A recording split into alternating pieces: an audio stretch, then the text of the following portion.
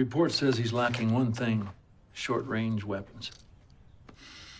Iran's program is three months away.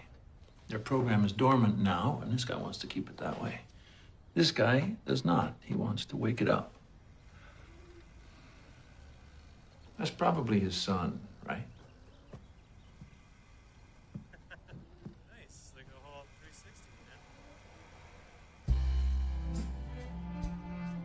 We're going to try to buy this election, John, or the other guy. We're going to spread a lot of money all across Iran, across all 30 provinces. We got the guy to do that. We just need you to get him the money and then come and go from Iran in the fall to make sure that it gets to where we need it. How? Knock. Ooh, I thought you were looking. You looked like you were looking. McMillan is an oil infrastructure engineering firm. This project's going to play out in two places Iran and Luxembourg. We need to bank with these people in Luxembourg because their money is worthless. And the Iranians we need don't use their own banks. McMillan comes and goes both places. Hey, John,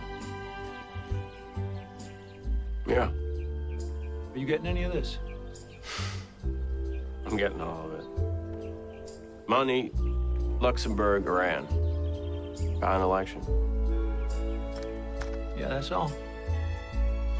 Luxembourg's the only country in Europe that does business with Iran. So all the money comes and goes through there. McMillan travels both places routinely, so that's your knowledge. You interviewed Milwaukee on Wednesday.